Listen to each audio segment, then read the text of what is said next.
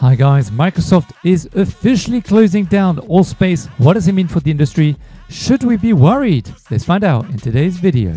But first, a big shout out to our sponsors of the day. VR-Wave.store, your go-to place for all your lens prescription adapters. 5% discount with the promo code VR Essentials.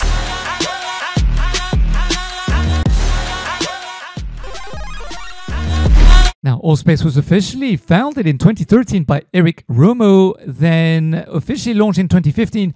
However, within two years, they actually had run out of investment.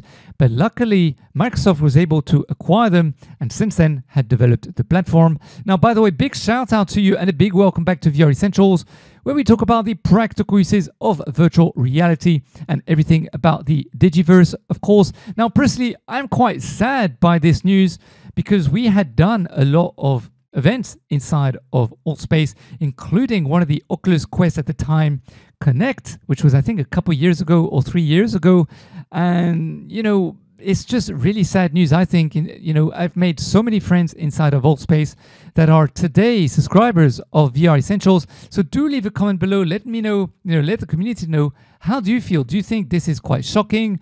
Um, you know, or did you expect something like this to occur? And what does it really say for the business of social media digiverses within virtual reality and whether it's as healthy as we actually think it might be. We're going to look at all this and talk about this in today's video. So do leave a comment below. Let us know your thoughts about what you think about today's topic.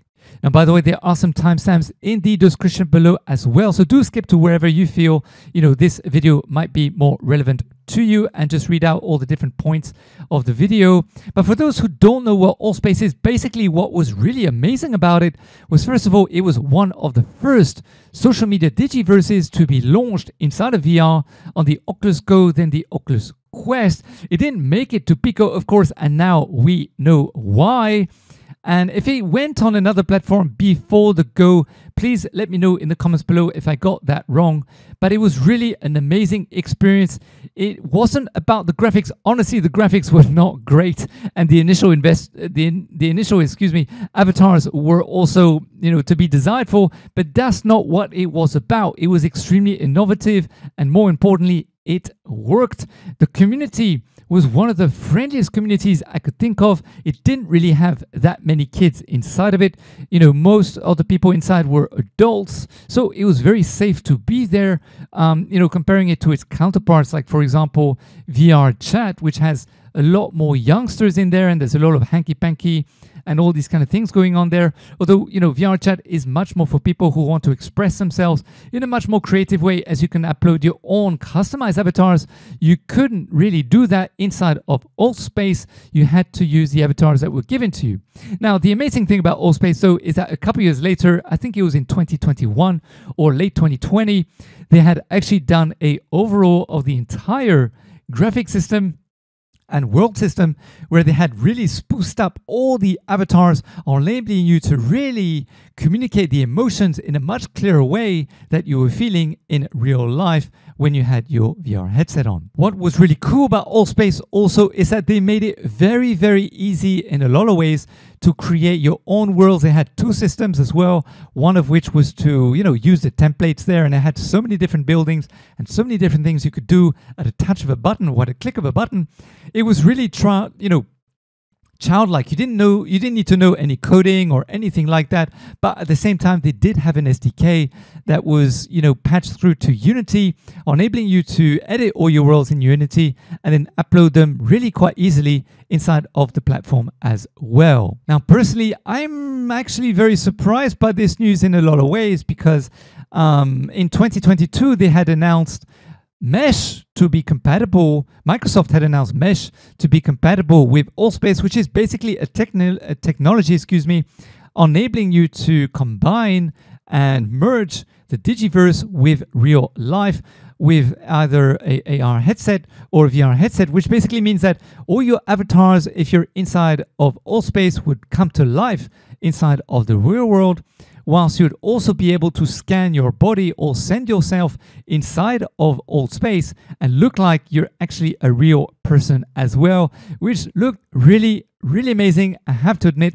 And there's a lot of things that you could do inside of Altspace as well in terms of customization, which was amazing. Now, the fact that Microsoft are closing shop could mean, of course, there's two meanings here. First of all, we know that they just fired or laid off, excuse me, you know, about 10,000 employees going along with the trends as it were with other technology companies. Although a lot of these tech companies do these things you know for two different reasons sometimes.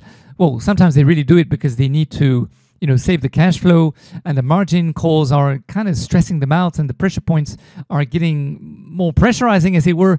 But a lot of the times they do this to spike up the actual share price or to put more pressure on actual governments to lobby for things that they actually require but the governments are not willing to give it to them so sometimes it is it is excuse me political and sometimes it really isn't now, every time I went inside of Altspace, there were always a lot of people in there, and all the worlds were quite well curated to a certain aspect. But there were a lot of admin staff there, and you know, it was quite busy. You could feel that it was quite busy most of the time that you would go inside of Altspace. But what does this really mean also potentially for the industry? Well, let's look at a couple of articles and also what Microsoft had to say about this. And let's analyze a little bit as well in terms of the users in other platforms that rival or compete with Altspace and whether, you know, it's a telltale sign that it might actually trickle down to other platforms. Because at the moment, let's not forget that none of these platforms, none of these platforms are making any money whatsoever. They're all reliant on their own self-funded investment through, of course, their investors or you know shareholders or whatever it might be, depending on the company that is actually you know building and maintaining these things. And they are, of course, potentially in the future. The amount of data points that can be picked up from any player that's inside is absolutely staggering. Because let's not forget that they're analyzing, you know, where we look at if you have, you know some kind of foveated rendering or you have eye tracking um, and also all our movements inside of VR, you know, they can actually analyze how our avatars are animating, uh, both the fingers, the hands, the arms, you know, absolutely everything. And then if you have sensors, which a lot of people, you know, thousands of people have sensors or body sensors they wear, enabling them to move their legs even and be completely independent. So this is a lot more data points that they're giving all these platforms. And let's not forget also our voice, what we say, and also how we say it, not just the words we actually say now. And all this data potentially will be sold both to third marketing parties and also advertisers and potentially governments also who want to put more pressure in terms of finding data on potential voters to actually keep them in power or to get rid of them or you know big farmers to manipulate society in certain ways like you know unfortunately meta um, has been you know shown to, to have been doing. You know this is going to trickle down in so many different ways inside of the metaverse. So this is potentially revenue that is worth billions of dollars which is why a lot of these platforms right now are not charging anything to anyone but eventually they will start charging, of course, advertising money as well, or they will come up with subscriptions like VR Chat has, um, so that if you want additional stuff, then of course you pay for it. Um, you know, so so so it's going to become more of a freemium model than a free model.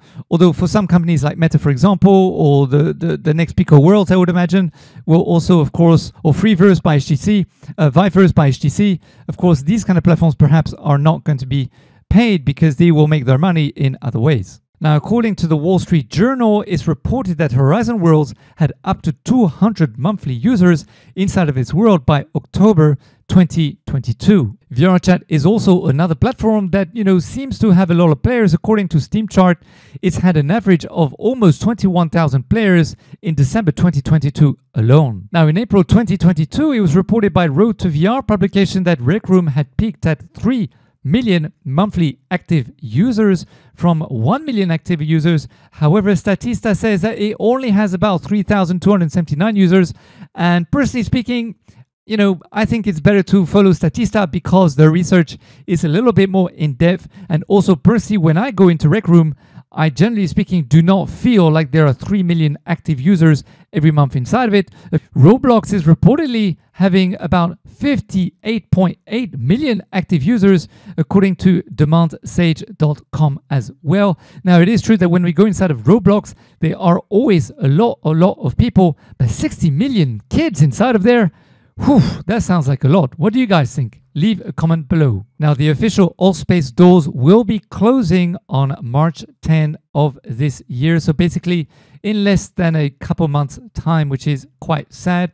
And this is what Microsoft had to say in a blog post on Friday. The Altspace VR team said they're shifting focus to immersive experiences powered by Microsoft Mesh, the tech giant's cloud based AR VR platform. As we look to the future, we see the opportunity for VR expanding beyond consumer into business and now have an even greater goal a more open, accessible, and secure version of immersive experiences in the metaverse. Reads the blog post With Mesh, we aspire to build a platform that offers the widest opportunity to all involved, including creators, partners, and customers. So, this statement by Microsoft shows that they do have something up their sleeve. But the question is, what? Well, they're looking to merge their mesh technology or develop their mesh technology even further, which, by the way, as I mentioned before, is gobsmacking. It looks really really amazing as to what they're looking to do and it just makes a lot of sense. Also they have you know microsoft teams which is widely used as well for all your video conferences calls and communication amongst people. Let's not forget they they also own skype. And you know it would have been very interesting to see how skype could be included in all these technologies as we shed away let's say from using our mobile phones and being able to actually make calls receive calls with people inside of VR or AR for that matter. Although, let's not forget that Apple very recently announced that they are going to postpone indefinitely their plans for an AR VR pair of VR glasses. So we don't know now when they're actually going to be releasing those or whether they'll be releasing them at all until the evolution of their MR headset, which is supposed to come out this year at the end of the Q3 or Q4 if there are no other delays.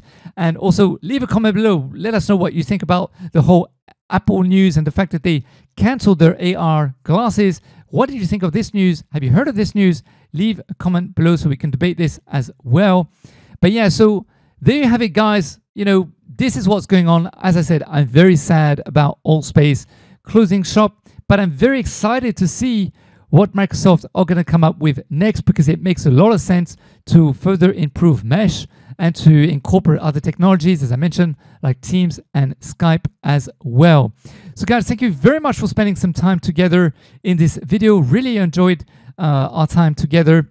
As always, leave comments below. Let us know what you think. Hope this video today was, you know, brought something to you of value. And of course, Remember to hit the notification bell, be part of the notification squad after you subscribe so you don't miss future really awesome videos. All right, until next time, take it easy, guys.